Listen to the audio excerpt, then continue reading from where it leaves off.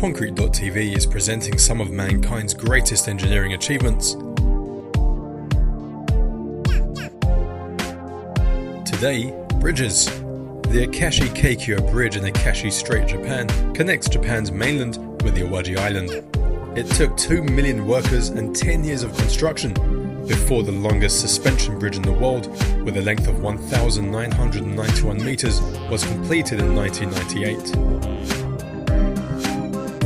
1 million pounds of steel and 83,000 pounds of glass were assembled on site in order to complete the Grand Canyon Skywalk in Arizona, United States. It is strong enough to support the equivalent of 71 fully loaded 747 airplanes or 71 million pounds. The 1,219 meter high structure was completed in 2007.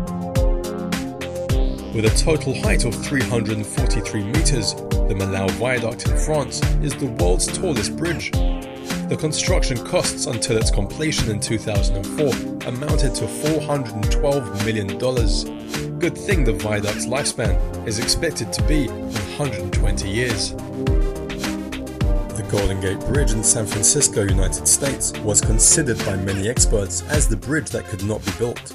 Huge amounts of concrete, over 128,000 kilometers of wire, and 600,000 rivets proved them otherwise. The concrete mix for the Confederation Bridge in Prince Edward Island, Canada, had to be 60% stronger than most due to wind, waves, and snow. With a purpose built floating crane to put 65 reinforced concrete piers in place, Canada's smallest province was connected to the mainland in 1997.